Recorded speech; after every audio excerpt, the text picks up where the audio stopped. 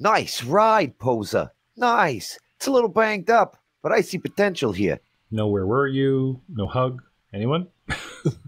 Oh, I said I said nice bike. Okay.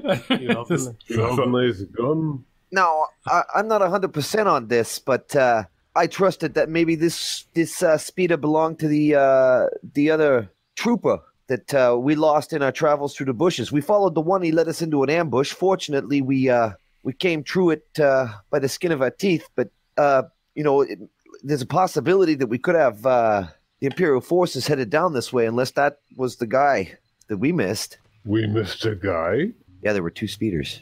There were two speeders. Well, according Yep. to Mandrake, there was only two. So if you guys took out the other one, then yeah, I think we got both of them. Wow, sounds like this is a perfect time for a victory party.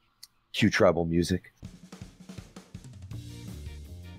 Ewoks flood the I village. don't, I don't have my guitar yup, on me. Sorry. Yup, yup. Yes. Surely in an outpost where we just found like four guys, which is just an outpost, let alone the actual compound, which is not far away. There could only possibly be two scouts on bikes. You know, let's have a loud party when they're looking for us. Tur- turns the uh, transformer bike into a big amplifier for Poser's guitar. Hunter one uses for an SL. All right, gentlemen, I think we'll leave it there. You rest. Okay.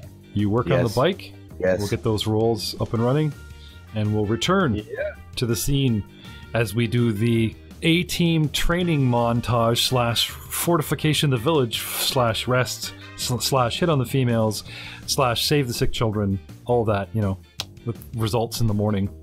Do the, do the females have the big tentacle hand too? the big what? It's an important question. Uh-huh. The tentacle hand. Yes, I will answer that next week.